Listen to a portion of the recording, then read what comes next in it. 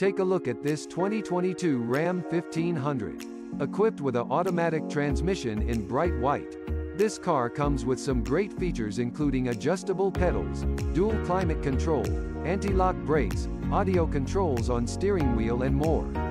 Come in and check it out today.